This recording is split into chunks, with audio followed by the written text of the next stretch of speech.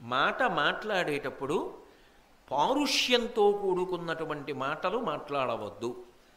ఎందుచేత అంటే నేను నిన్న మీకు దీని గురించి చాలాసేపు వివరణ చేసి ఉన్నాను.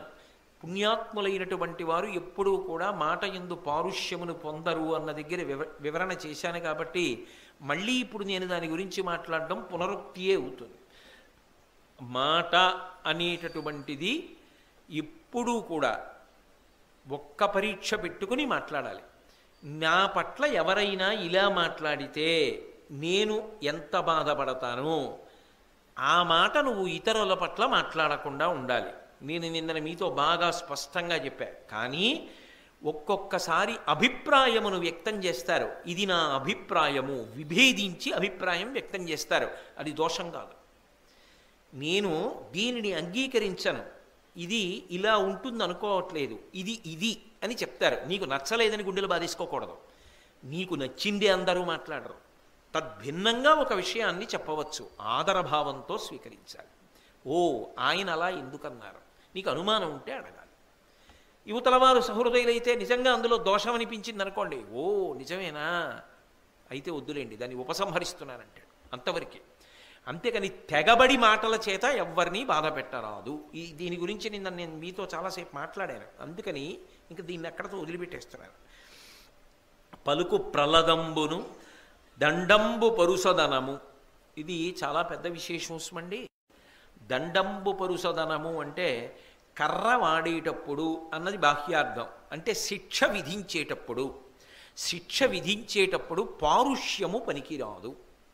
ఇందులో మీరు ఒక్క విషయాన్ని బాగా పట్టుకోవలసి ఉంటుంది. శిక్ష ఎప్పుడు వేస్తారు?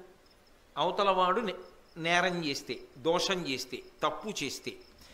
శాస్త్ర దృష్టిలో ఏమిటంటే ఎప్పుడైనా సరే దండాన్ని ప్రయోగించే ముందు అంటే శిక్షని వేసే ముందు కొన్ని విషయాలని దృష్టిలో పెట్టుకోవాలి అని. అందులో ఏ మూడు విషయములు ప్రధానములు అన్నది శాస్త్రం పరిశీలిస్తుంది. ఒకటి అభిప్రాయము రెండు పొరపాటు మూడు తప్పు. ఈ మూడిటిని దృష్టిలో పెట్టుకోవాలి. అసలు ఇది చేస్తున్నప్పుడు ఆయన ఏ అభిప్రాయంతో చేశాడు? ఏదో ఐదు వేల ఎనిమిది వందల ముప్పై ఐదు రూపాయలు చెల్లించవలెను. ఎవరికో ఇవ్వాలి. ఈ ఐదు వేల ఎనిమిది వందల ముప్పై ఐదు రూపాయలు ఎందుకు చెల్లించవలెను? పైన అంతా రాశాడు లెక్క కట్టాడు. ఐదు వేల ఎనిమిది వందల ముప్పై ఐదు రూపాయలు చెల్లించవలెను అని రాశాడు. చెక్ రాసినప్పుడు ఐదు వేల మూడు వందల ఎనభై ఐదు రూపాయలు వేశాడు. ఇప్పుడు అభిప్రాయం ఏమిటైంది? అవతల వాడికి తక్కువ డబ్బు ఇప్పించి ఏడిపించడమా? కాదు. నీకు తెలుస్తోంది కదా? ఆయన వ్రాసినప్పుడు అంటే ఒక కార్యాలయంలో ఉదాహరణగా నేను చిన్నది మీ అందరికీ అర్థం అవడానికి తీసుకుని చెప్తున్నది. ఐదు వేల ఎనిమిది వందల ముప్పై ఐదు రూపాయలు అవతల వారికి ఎందుకు ఇవ్వాలో లెక్కంతా రాశాడు. ఇదిగో ఐదు వేలు ఇందుకు ఇవ్వాలి ఐదు వందలు ఇందుకు ఇవ్వాలి మూడు వందలు ఇందుకు ఇవ్వాలి ముప్పై రూపాయలు ఇందుకు ఇవ్వాలి ఐదు రూపాయలు ఇందుకు ఇవ్వాలి మొత్తం ఐదు వేల ఎనిమిది వందల ముప్పై ఐదు రూపాయలు మనం ఇవ్వాలి అంతా రాశాడు. చెక్ రాసినప్పుడు ఐదు వేల మూడు వందల ఎనభై ఐదే వేశాడు. అంటే ఇప్పుడు అది తప్ప పొరపాట? అభిప్రాయము వలన గ్రహిస్తారు. పైనంతా ఏమని రాశాడు? అంటే ఎంత ఇవ్వాలో రాశాడు. పైన అందులో ఆయనకి ఏదన్నా సత్యాన్ని మరుగుబరుద్దామని కానీ అవతల వాడికి తక్కువ ఇప్పిద్దామని కానీ వాడిని బాధ పెడదామని కానీ అభిప్రాయం లేదు. కానీ ఐదు వేల ఎనిమిది వందల ముప్పై ఐదు వెయ్యబోయి ఐదు వేల మూడు వందల ఎనభై ఐదు వేశాడు. అంటే అది పొరపాటు. తప్పు మాత్రం కాదు. తప్పు చేద్దామన్న అభిప్రాయం ఆయనకి లేదు. ఎందుకంటే పైన విషయాన్ని బట్టి తెలుస్తోంది. ఒక్కొక్క విషయంలో ఆయన జీవన శైలిని బట్టి తెలుస్తుంది. ఆయన జీవితం ఎటువంటిది? ఆయన ఎలా మాట్లాడతారు? ఆయన ఎలా ప్రవర్తిస్తారు? ఇది శైలి ఆయన జీవన శైలి అభిప్రాయం. ఒక ప్రత్యేకమైన విషయం తప్ప పొరపాట అంటే ప్రయత్నపూర్వకమైతే తప్పు. ప్రయత్నపూర్వకమైతే అది ఐదు వేల ఎనిమిది వందల ముప్పై ఐదు ఎక్కడా చెప్పడు. ఐదు వేల మూడు వందల ఎనభై ఐదు వచ్చేటట్టే చూస్తాడు. ఎందుకంటే వాడు తర్వాత లెక్క కట్టుకుని మళ్ళీ అడగాలి. అడిగిన తర్వాత కొన్నాళ్ళు ఆపాలి. వాడికి డబ్బు కోసం తిప్పాలి. వాడు పుచ్చుకుంటున్న ఈ ఐదు వందలు తర్వాత వాడి ఖర్చులకి సరిపోవాలి. తద్వారా వాడు నష్టపోవాలి. నీ సంతోషం పొందాలి. అది అభిప్రాయమునందు వ్యక్తమవుతుంది. కానీ ఐదు ఎనిమిది మూడు ఐదు పైనేసి ఐదు మూడు ఎనిమిది ఐదు వేశాడు చెక్కు మీద అంటే పొరపాటేనా చేసింది? అప్పుడు దండ ప్రయోగం చెయ్యక్కర్లేదు. అది అక్కడికి తప్పే. కానీ అభిప్రాయము పొరపాటు తప్పు ఈ మూడు పరిశీలన చేస్తారు. చేసి పిలిచి చెప్తే సరిపోతుంది. ఏమయ్యా ఇలా వేసావు ఒకసారి చూసుకుంటూ ఉండండి మళ్ళీ ఇక్కడ వేసింది పైకి కూడా చూస్తూ ఉండండి అని ఒకసారి చెప్తే సరిపోతుంది. లేకపోతే ఆయన శైలి ఎటువంటిది? అంటే ఇటువంటి పనులు చేసేవాడేనా? చేసేవాడు కాదు. అంటే ఏదో పొరపాటు చేశాడంతే. తప్పు చేసే స్వభావం కాదు. అప్పుడు దారుణ దండన విధించక్కర్లేదు. తప్పు చేశాడా లేదా అంటే తప్పు చేసినట్టుగానే తెలుస్తోందిగా. వెంటనే ఆయన్ని బాధ పెట్టేయవలసిన అవసరం ఏమి ఉండదు. చాలా తక్కువ స్థాయిలో ఆయన పొరపాటు ఎత్తి చూపించి పంపించేస్తే చాలు. లేకపోతే ఆయనకున్నటువంటి ఉత్సాహం నశించిపోతుంది. ఎంత కష్టపడిన వాడిని దీనిక ఇంత పెద్ద మాట అనేశారు. అని బాధపడతాడా? పడ్డా. అందుకే అక్కడ పొరపాటుగా చూసి దండన వెయ్యకుండా వదిలిపెట్టవచ్చు. అదే ఐదు వేల ఎనిమిది వందల ముప్పై ఐదు ఇవ్వవలసిన చోట ఐదు వేల ఎనిమిది వందల ముప్పై రూపాయలే రాసిన కావాలని బాధ పెట్టడం అన్నది అభిప్రాయంలో స్పష్టమై తెలుస్తుంటే అవతలవాడు ఏదో కక్ష పెట్టుకుని తన పైవాడి చేత కూడా తప్పు చేయించడానికి ప్రయత్నిస్తున్నాడన్న విషయం స్పష్టం అవుతోందనుకోండి అభిప్రాయంలో. అది ఐదు రూపాయలైనా దండాన్ని విధించవలసిందే. ఇవాళ ఐదు రూపాయలకి చేశాడు రేపు ఐదు కోట్లకి చేస్తాడు. పైవాడు మునిగిపోతాడు. ఎందుకనంటే భాగవతంలో ఒక విశేషం చెప్తారు. ఏదో కుష్ఠమహా గదంబుచే బెడిదమై బెడి బెడిదంబైన కుష్ఠమహాగదంబుచే అంటారు. ఒంటి మీద కుష్టు వ్యాధి పుట్టిందనుకోండి తెల్లటి మచ్చ వస్తుంది ముందు. బా నల్లటి వాడిని నాళ్ళకి తెల్లటి మచ్చ వచ్చింది ఎంత బాగుందో నా ఒళ్ళు చర్మం తెల్లగా ఉంది అని పోషించాడు అనుకోండి అది వేలు ఊడిపోతుంది. భృత్యులొప్పని పని చేసిన ప్రయత్నపూర్వక దోషాలు చేస్తున్నారనుకోండి అప్పుడు దండన విధించవలసిందే. ఎందుకని అంటే అలా దండన వేయకపోతే ఆ పైన ఉన్నటువంటి ప్రభువు దెబ్బతింటాడు. ఆయనకి అసమర్థుడు అన్న పేరు వస్తుంది. అప్పుడు వేలు ఊడిపోయినట్టు చేసిన కుష్ఠవ్యాధి తెల్లగా కనపడినా ఊరుకోవడానికి వీల్లేదు. కానీ అక్కడ అభిప్రాయమును పట్టి దండన విధించాలి. ఇది ఎవరు చెయ్యగలరు? అంటే ఆ శాస్త్రమునందు నిష్ణాతులుంటారు. వాళ్ళని న్యాయమూర్తులు అని పిలుస్తారు. అది ప్రభుత్వం అది మహారాజు. వాళ్ళు మాత్రమే ఏ వ్యక్తి యొక్క జీవన శైలిని బట్టి వాళ్ళకి ఈ దండన వెయ్యొచ్చా వెయ్యకూడదా పరిశీలనం చేసి దండన వేస్తారు. తప్ప నీకొకటి తప్పని అనిపించిందనుకో వెంటనే నువ్వే తప్పుకి నిర్ణయం చేసేసేవాడిలా నువ్వే న్యాయమూర్తిలా అవతలవాడు తప్పు చేసేసాడని నువ్వే తీర్పు చెప్పేసి నువ్వే దండన వేసేసి అది ఏదైనా కావచ్చు. అది మనిషిని కొట్టకపోవచ్చు. మనిషి రూపాన్ని పొందిన బొమ్మ చేసి కొట్టినా చట్టం నీ చేతిలోకి నువ్వు తీసుకున్నట్టు. నువ్వెలా వేస్తావు? అలా వెయ్యవలసినది వేరొకరు ఉన్నారు నువ్వెవరు వేయడానికి? తప్పది. అంటే దండన వెయ్యవలసిన వాళ్ళు వెయ్యాలి వాళ్ళు ఈ మూడిటిని దృష్టిలో పెట్టుకుంటారు. పెట్టుకుని దండన విధిస్తారు. తప్పించి అది చటుక్కున వేసేది కాదు. అందుకే ఇప్పటికీ ఒక విషయం చెప్తారు. కృష్ణదేవరాయల వారు రాచరికాన్ని పొంది పట్టాభిషేకం పొందడానికి వెడుతున్నాడు. అప్పాజీ అంటే తండ్రి అని పిలిచేవాడు నాన్నగారు అని. తిమ్మరసు దగ్గరికి వచ్చి నమస్కారం చేశాడు. ఇక వెళ్ళి పట్టాభిషేకం పొందాడు అనుకోండి తిమ్మరసు కూడా రాయలవారి కన్నా స్థానం తక్కువే. ఇంకా మహా ప్రధానమంత్రి కాబట్టి ఆయన చక్రవర్తి మహాప్రభు. తిమ్మరుసు అన్నాడు ఒక్కసారి రాయా లోపలికి రా అన్నాడు. ఏమో ఎందుకు పిలిచాడో అప్పాజీ మీద గౌరవం. లోపలికి వెళ్ళాడు కృష్ణదేవరాయల వారు ఒక్కసారి నన్ను చూడు అన్నాడు. ఏం అప్పాజీ అని ఇలా చూశాడు. ఈడ్చి కొట్టాడు అప్పాజీ చంప మీద. అబ్బా! అని ఇలా పట్టుకున్నాడు. కన్నుల వెంట నీరు కారి ఏం అప్పాజీ? ఎందుకు కొట్టారని అడగలేదు. అప్పాజీ కొట్టారంటే ఏదో ఉంది. ఆయన అనవసరంగా కొట్టరు. అని ఇలా పట్టుకుని కందుల నీరు కారి ఊరుకున్నాడు. వెంటనే తిమ్మరుసు అన్నాడు ఇంకొక ఐదు నిమిషాలలో మీకు పట్టాభిషేకం అవుతుంది. పట్టాభిషేకం అయిన తరువాత మీకు దండన వెయ్యగలిగిన శక్తి ఇక నాకు ఉండదు నేను మంత్రిని. మీరు ప్రభువు మీరు దండన వేస్తుంటారు. దండన విధించేటప్పుడు అవతల వారి యొక్క జీవితం ఎటువంటిది? తప్పు చేసిన వారా పొరపాటు చేసిన వారా స్వభావం ఎట్టిది అన్నది చూడకుండా దండన విధిస్తే ప్రభువు అవతల వారు ఎంత బాధపడతారో. దండన వేసే ముందు ఈ మూడు విషయములను దృష్టిలో పెట్టుకోవడం జ్ఞాపకం ఉంచుకోండని చెప్పడానికి. నోటికొచ్చిన దండన చటుక్కుని రాజుని కదా అని వేసేస్తే ఎంత బాధపడతారో మీకు గుర్తుండిపోవడానికి. అంత దెబ్బ కొట్టాను ప్రభు ఇక పైన కొట్టడం సాధ్యం కాదు. కాబట్టి ఇది జ్ఞాపక ఉంచుకొని దండన విధించండి మీరు ప్రభువుగా అన్నాడు. అందుకే తరువాతి కాలంలో కృష్ణదేవరాయల వారు ఎంత కీర్తి సంపాదించాడు పరిపాలకుడుగా. సాహితీ సమరాంగణ సార్వభౌముడు లలిత కళాప్రియుడు కవి పండిత పోషకుడు విద్వత్కవి అంత గొప్ప పరిపాలనా దక్షుడు అని పేరు పొందాడంటే అప్పాజీ కొట్టిన ఒక్క దెబ్బ ఆయనని అంత గొప్ప మహారాజుగా నిలబెట్టి దండన వేసేటప్పుడు పాటించవలసిన నియమాన్ని జ్ఞాపకం చేసింది. అంతేకాని దండన ఎందు పారుష్యము పనికిరాదు. ఒకటి ఎప్పుడూ కూడా సమాజ సంబంధమైన విషయములో దండన నీవు తీసుకొనరాదు. వీడు దొంగ నీ ఇంట్లో దొంగతనం చేస్తూ దొరికిపోయినా కొట్టే అధికారం నీది కాదు. నువ్వు పట్టుకెళ్ళి రక్షక భట స్థానమునందు అప్పజెప్పాలి. అది ఎంతో అవసరమైతే తప్ప అవతల వారి జోలికి వెళ్ళడం అన్న మాట లేనే లేదు. ఏదో తన మాన ప్రాణ రక్షణాదుల ఎందు మాత్రమే.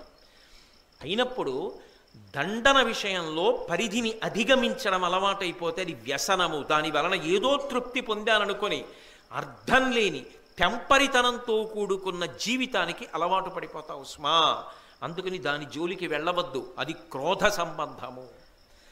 ఎంత గొప్పగా మాట్లాడాడండి విదురుడు నిజంగా. మహానుభావుడు జీవితాలు బాగుపడడానికి ఎవరు ఎలా ప్రవర్తించాలో. అసలు విదురునీతిలో లేనిదేముంది? విదురునీతి అలవాటైన వాడు విదురునీతిని జీవితంలో జీర్ణం చేసుకున్నవాడు ఎంత గొప్ప వ్యక్తిగానో సమాజంలో నిలబడగలడు. ఆ స్థాయికి ఎదగగలడు. కాబట్టి దండంబు పరుసదనము సొమ్ము నిష్ప్రయోజనముగా ఒమ్ముసేత ఎంత కష్టపడి సంపాదిస్తాడో అంత హేళగా అంత తేలికగా డబ్బు ఖర్చు పెట్టేడు. డబ్బు ఖర్చు పెట్టేయడం అనేటటువంటిది పరమ ప్రమాదకరమైనటువంటి అలవాటు. అసలు డబ్బు ఖర్చు పెట్టకుండా ఉండడం అన్నది కూడా అంత ప్రమాదకరమైన అలవాటు.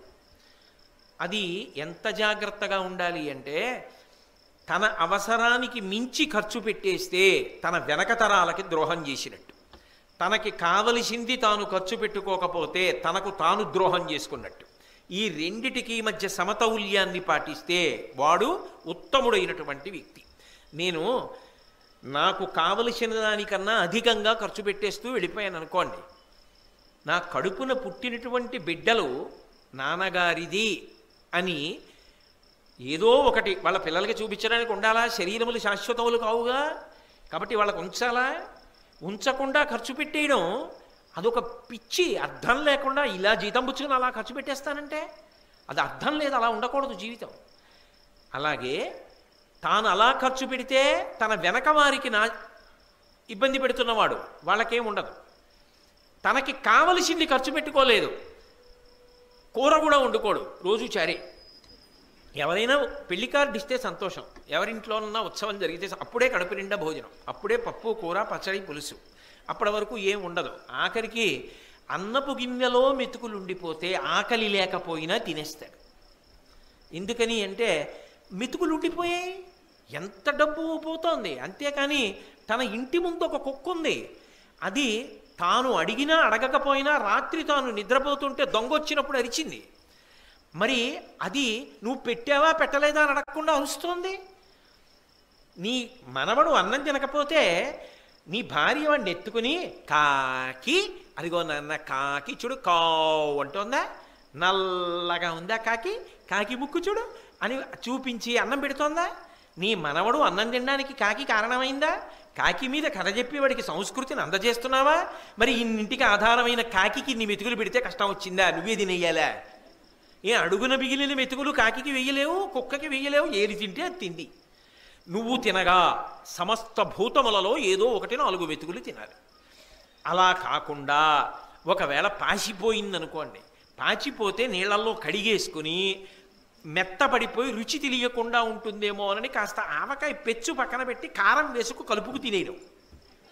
ఏమిటంత ప్రారంధం అంటే తనకు తాను ద్రోహం చేసుకుంటున్నవాడు. ఎందుకో తెలుసా? కడుపు నిండా తిన్నది లేదు. చూసుకుని ఆనందపడుతూ ఉంటాడు అంతే ఇంతుంది ఇంతుంది ఇంతుంది ఇంతుంది. ఓనాడు పడిపోయింది శరీరం. ఏమొస్తుంది? ఆ వెనకనున్నవాడు ఎప్పుడు పోతాడా? ఎప్పుడు ఈ పుస్తకం నాకు వస్తుందా అని చూస్తున్నవాడు ఉంటాడు. వాడికి అకస్మాత్తుగా వచ్చింది. వాడు వరదలా ఖర్చు పెట్టడం మొదలు పెడతాడు. అప్పుడు వీడు ఏడుస్తుంటాడు అయ్యి బాబోయ్ బాబోయ్ బాబోయ్ ఎంత కష్టపడి దాచిందని. చేసింది లేదుగా నరకానికి పోతాడు. అందుకే తనకి తాను కావలసింది ఖర్చు పెట్టుకోనివాడు తనకి తాను ద్రోహం చేసుకున్నవాడు. తనకి కావలసిన దానికన్నా ఎక్కువ ఖర్చు పెట్టేస్తున్నవాడు తన వెనక వాళ్ళకి ద్రోహం చేస్తున్నవాడు. రెండిటికి మధ్య సమతౌల్యాన్ని పాటిస్తున్నవాడు జీవితాన్ని పండించుకోవడం నేర్చుకున్నవాడు. అందుకే డబ్బు ఖర్చు పెట్టేయడం అనేటటువంటిది ఒక వ్యసనము. అది చాలా తేలికండి ఏముంది? పది మంది చూస్తుండగా మెహర్బానికి వంద రూపాయల కాగితాలు ఇలా వేసుకుంటూ ఏదో గౌరవంగా ఇవ్వడం కాదు ఇలా వేసుకుంటూ. వెళ్ళిపోయి ఇలా కారెక్కి డామ్ అని చప్పుడయ్యేటప్పుడు తలిపేసి వెళ్ళిపోయాడు. పుచ్చుకున్నది పది రూపాయల వడ్డీకి. వేసేసింది అలా. ఎందుకంటే వాళ్ళందరూ చూశారట. అదో అదో మైకం. బేరం ఆడకపోవడం. రూపాయి తగ్గకపోయినా పర్వాలేదు. పది రూపాయల దగ్గర యాభై రూపాయల కాగితం ఇచ్చేస్తూ ఉండడం. ఏమిటది? కష్టపడేవాడికి నేను కాదన్నా. మనం రాత్రిళ్ళు రైల్లో ప్రయాణం చేస్తుంటాం. ఎక్కడో తణుకులో ఓడెక్కుతాడు భీమవరంలో ఓడెక్కుతాడు విజయవాడలో ఓడెక్కుతాడు గుడివాడలో ఓడెక్కుతాడు. ఆ ఎక్కిన వాళ్ళందరి కోసం నిద్రపోకుండా రాత్రంతా రైల్లో గూడు లాంటి దాంట్లో పడుకుంటాడు పడుకుని వీళ్ళందరికీ దుప్పట్లు పట్టుకొచ్చి తలగడాలు పట్టుకొచ్చి ఇస్తాడు. తెల్లవారేటప్పటికి ఎవడి చోట వాడి దిగిపోయి నలిపేసి వదిలేస్తే మళ్ళీ తెల్లవారకట మూడు గంటల నుంచి ఆ రగ్గులన్నీ మడతలెట్టుకుంటాడు. దుప్పట్లన్నీ మడతెట్టుకుంటాడు. లెక్క చూసుకొని ముఖం దుడుచుకునే గుడ్డోటి కనపడదు ఇక్కడుందా అక్కడుందా నా జీతం కోసేస్తారని దాని కింద దీని కింద పైన ఎక్కి చూసుకుని ఒకటి పోయిందని ఏడుస్తూ ఇంటికి ఎడతాడు నువ్వు దిగిపోయేటప్పుడు పెట్టె కూడా నీకు అందిస్తాడు. అతనికి వంద రూపాయలు బాగుంది అంతేగాని అర్థం పర్థం లేకుండా ఖర్చు ఏమిటి ఎక్కడ ఇవ్వాలో అక్కడి వాడు సంతోషిస్తాడు. రాత్రనక పగలనక నిలబడతారు పాపం. బండి పట్టుకెళ్ళి అక్కడ పెడితే చాలు ఒంగుని కొంచెం కలపండి అని గాలి పెట్టి ఇలా చూసి మళ్ళీ అది తీసి బురద చక్రాలలా రాత్రి వరకు ముట్టుకుంటూనే ఉంటారు. ఎన్ని సబ్బులు వాడితే ఆ వాసన పోతుంది? మళ్ళీ తెల్లవారు లేచొచ్చి మళ్ళీ అలాగే కష్టపడుతూ ఉంటారు. అతనికి రెండు రూపాయలకు బదులు ఐదు రూపాయలు నీ దగ్గర ఉంటే కష్టపడుతున్నవాడు కష్టపడి బ్రతుకుతున్నవాడెవరో వాడిని ప్రోత్సహించు. కష్టపడకుండా గడిపేద్దాం అనుకున్న వాడి దగ్గర నీ విలాసం చూపించద్దు. డబ్బు ఖర్చు పెట్టేయడం ఒక మత్తు. యోగ్యత నిరిగి డబ్బు ఖర్చు పెట్టడం ఒక హుందాతనం. అది నీ వెనక ఉన్న పిల్లలకి రావాలి. నాన్నగారు రెండు రూపాయలేనండి అని బండిలో ఇంధనం నింపుకున్న తర్వాత ఏరా ఎండలో కాసేపు వెడితేనే మన ఇద్దరం ఇంత సొక్కిపోయామే ఇంత చెమట పట్టిందే రాత్రనక పగలనక చూడు పాపం ఎంత శ్రమ పడుతున్నాడో. ఇంకొక రెండు రూపాయలు ఇస్తే నష్టం ఏమిట్రా? అందుకు ఇచ్చాను. నీ కొడుకు అలవాటు అవుతుంది వెనకాతల. తప్ప ఉంది కదా అని దుర్వినియోగం చెయ్యకు. మళ్ళీ అవసరమైన నాడు చెయ్యి చాపడం అంటే అంత తేలికైన విషయం కాదు. బ్రతికి పది మాటలు చచ్చిపోవడంతో సమానం ఇంకొకటి దగ్గరికి వెళ్ళి చెయ్యి చాపడం. అందుకే లక్ష్మి పట్ల నిరసన భావన పొందవద్దు. లక్ష్మీదేవి పట్ల తృణీకార భావం అంటే ఏమిటో తెలుసా? దారుణంగా అర్థం లేని ఖర్చు పెట్టేస్తూ ఉండడం. వ్యసనముల కొరకు వెళ్ళిపోతుందని చివరికి. కాబట్టి అటువంటి స్థితిని పొందవద్దు. ఇవి ఏడూ కూడా వ్యసనములు. కొన్ని కామ సంబంధములు కొన్ని క్రోధ సంబంధములు. ఇవి ఇంద్రియములకు మనసుకి మత్తెక్కించడానికి పనికొస్తాయేమో. కానీ మనిషి మాత్రం చిట్ట చివర భ్రష్టుడైపోతాడు. అందుకే వీటి జోలికి వెళ్ళవద్దు అని విదురుడు ఏడిటిని మనకి ప్రబోధం చేశాడు. ధృతరాష్ట్రుడిని అడ్డిపెట్టి ఒక్కొక్కడికి నిద్ర పట్ట నిద్ర పట్టకపోవడం కూడా లోకానికి ఇంత ఉపకారం చేస్తుందిలా ఉంది. ధృతరాష్ట్రుడికి ఆ రోజు రాత్రి నిద్ర పట్టేసి ఉంటే విదురుడు ఇన్ని చెప్పడానికి అవకాశం ఉండేదా? నిద్ర పట్టకపోవడం ఒక అదృష్టం అయితే నిద్ర పట్టనప్పుడు మళ్ళీ ఏ పాటలో వింటాను కాసేపు? వీణ వాయించండి. అంటే ధృతరాష్ట్రుడికి వీణ వాయించని ఏమిటి వీణ వాయిస్తారు. బాగా విసరండి. అంటే ఇంకా బాగా విసురుతారు. కాళ్ళు ఇంకొక ఇంకో ఇద్దరు నొక్కండి. అంటే నొక్కుతారు. ఇదేమీ కాకుండా ధృతరాష్ట్రుడు విదురుడు వచ్చి కాసిని మంచి మాటలు చెప్తే బాగుండు అని విదురుణ్ణి పిలవడం ఆ విదురుడు ఇప్పుడు చెప్పడం ఏమిటి? వేళ కాని వేళ రాత్రి పదకొండు అవుతుంటే అనకుండా మహానుభావుడు చెప్పడం ఆ చాలే ఇంక నిద్ర వచ్చేసింది వెళ్ళిపో. అనకుండా వినడం బహుశా భగవంతుడు రాబో కాలాల్లో జనానికి అందాలి విదురుడికి ఇంత గొప్ప వేదిక ఇస్తేనే. అంటే అంత రాత్రి వేళ జాగ్రత్తగా వినగలిగినటువంటి లక్షణం ఉన్న వాళ్ళైనటువంటి శ్రోతలు దొరికితేనే విదురునీతి చెప్పాలేమో.